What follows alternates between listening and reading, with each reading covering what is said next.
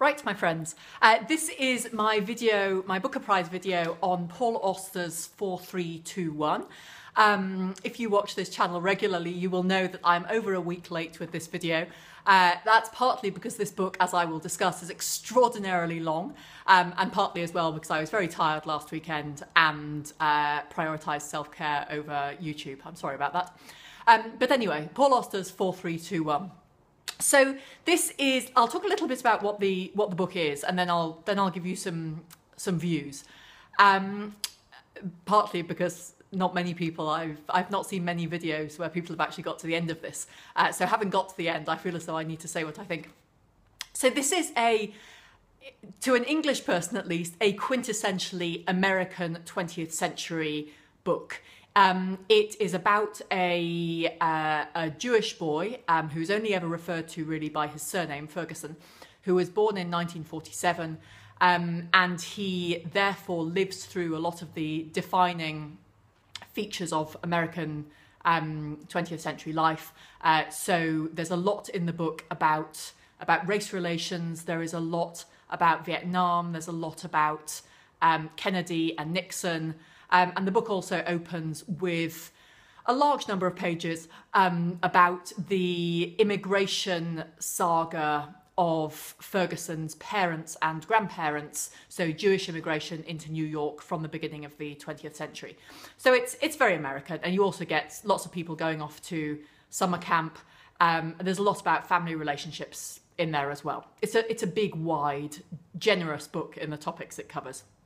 It is um, mostly very well written, so it's it's sort of verbal pyrotechnics all the way through. Auster knows how to put a sentence together, and he does that well.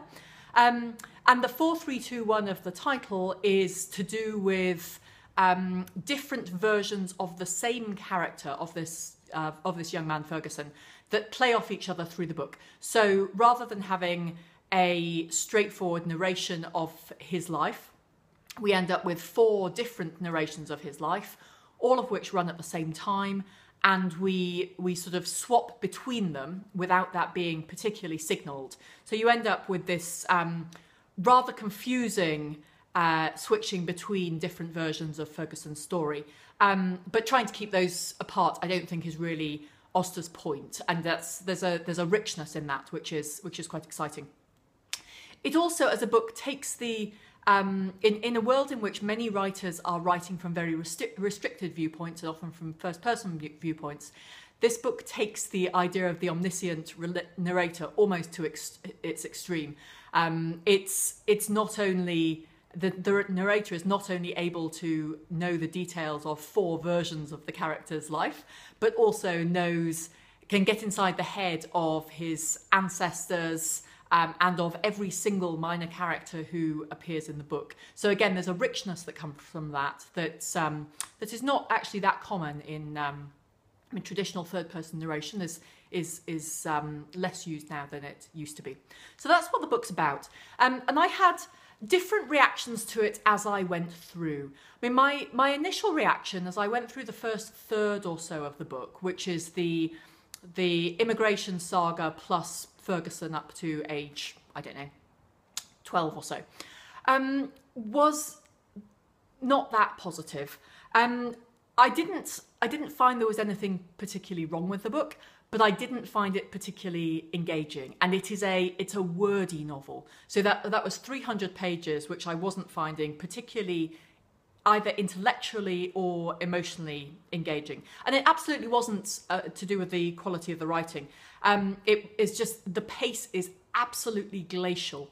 Um, and I struggled through the first third with the. I didn't feel that what Auster was saying was compelling enough for me to want to um, read through the vast number of words that he had, wanted to put on the page. Um, I also had another struggle with the first third, which was that this this boy who was um, first newborn and then slowly progressed, very slowly progressed through to age 10 or 12 or so, was unbelievably precocious. Um, he apparently had deep psychological insights about everyone around him, though he was only sort of age seven or so, and he expressed these in extraordinarily adult uh, language. And I just didn't believe it. So I was in this situation of a a very slow paced novel um, about a child I didn't believe in. So the first third I found thoroughly disappointing, and had I not needed to read it for my booker list, I would not have read it all. But then things began to change. So when I got to the middle, we got to um, Ferguson at age 15, 16, um, and then a bit later. And by this point, the character was much more compelling. Um, and I was finding the structure more compelling as well. So once the four different narrative threads had been established, there was an interesting symmetry between all of the different stories that were being told. So Auster doesn't completely separate the four stories. They're not all taking place in wildly different places with different casts of characters. It's the same characters that appear. So Ferguson's family and close friends and uh, sort of step families as various divorces and remarriages happen. And those people are all the same people, regardless of which of the plot strands they are in. So you then get a rather interesting effect of characters being affected only by the circumstances of the plot um, and not by who they actually are. And that I found exciting and, and formally interesting. Um, almost, almost as though there were sort of different cards being shuffled, shuffled into different combinations and then different games were being played with them. I thought that was fun. Um, there, there are also lots of comments going through the book um, about the uh, the fact that all of these different stories are being told. There are lots of comments about things being double, about people's stories not being straightforward, about people not knowing quite who they are, um, and maybe we have different versions of ourselves. And in a less good author's hands, those would have been really obtrusive. In this case, actually, they weren't.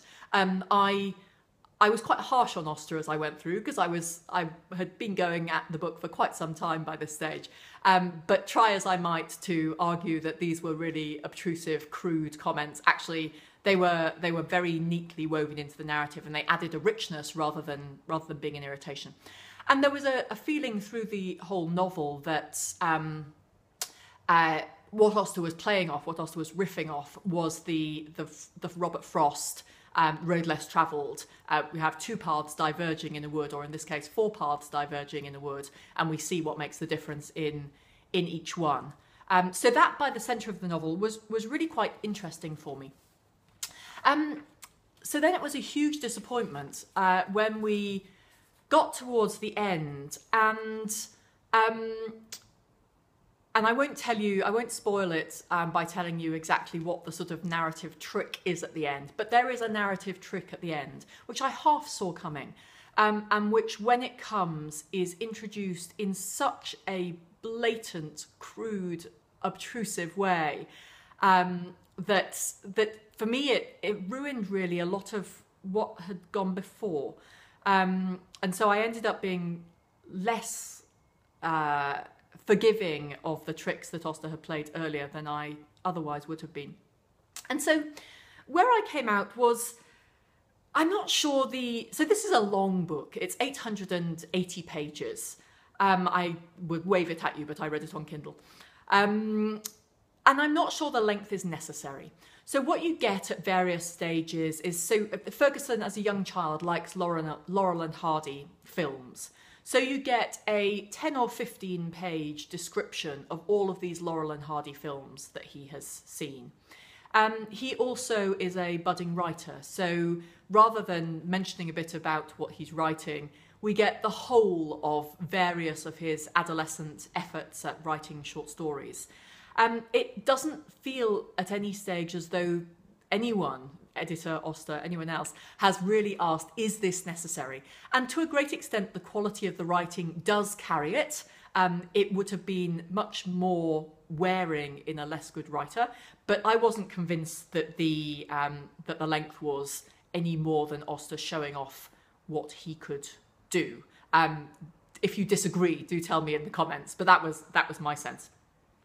And I also um, it's also ultimately a book about a the the story at the center is a young man who grows up to be a writer.